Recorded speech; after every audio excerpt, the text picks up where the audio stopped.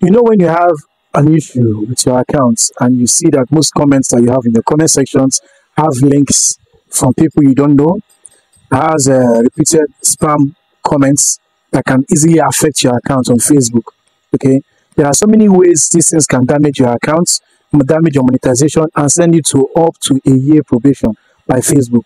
Okay, now if you're new on Facebook, if you are new into content creation and other things related to that, okay, if you want to get monetized, these are the things you need to set on your Facebook page so that you don't end up falling victim. Okay, so if you're new to this channel, if you're on YouTube, please click on the subscribe button and click on the comment section.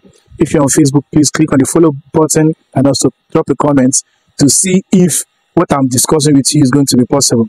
Try dropping a link because the way I set my own Facebook page, you won't be able to drop a link and have it posted on my comment section.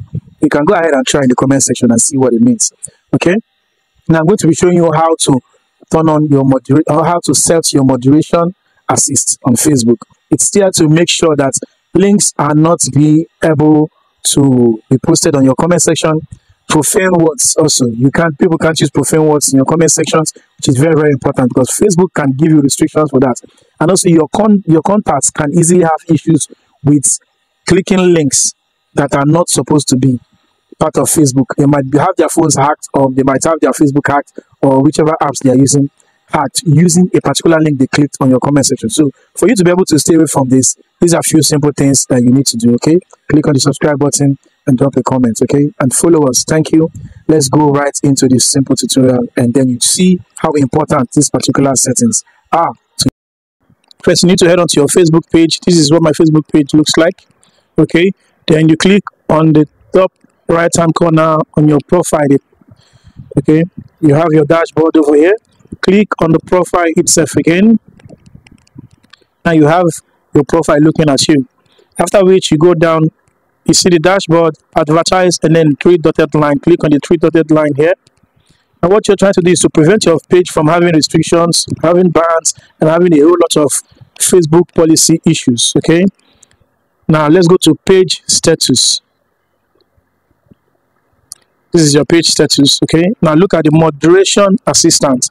Moderation assist. Now you're trying to let Meta come in and assist you to fish out some certain accounts, some certain comments, some certain links from giving your page a problem. Okay, now you click on moderation assist. Okay, now I have this moderation set up already. See, let me just click on add and show you what it is. Okay, link in comment section. You can't link, you can't drop any link there. Profanity in comment section. You can't drop any words like the F word, the K word, whichever words that you use in the streets to cause. You can't use it on the comment section okay and you can also put in keywords that people cannot use on your in your comment section okay these are the keywords you can type whichever one you want and then you can go ahead and save okay now your keyword you can click on here on this particular section and then you can write whichever word you want okay let's say courses let me say courses and you can add it to the ones i already added here you can go back and then you can go down save criteria okay now i've added it to the group of what I don't want on my page. Now, links also, you, you limiting links in comment section can help prevent spam and keep comments relevant to your page or profile.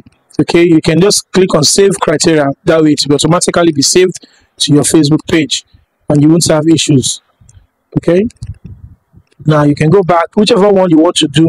Repeat offenders, new accounts. You can stop new accounts from from commenting in your comment section. Okay, you can also stop accounts without profile from commenting, dropping a comment in your comment section. So basically, this helps you to save your page from a whole lot of Facebook monetization policy defaults. Okay, people that are defaulting have issues having their monetization being set far, far apart from the people that don't have issues.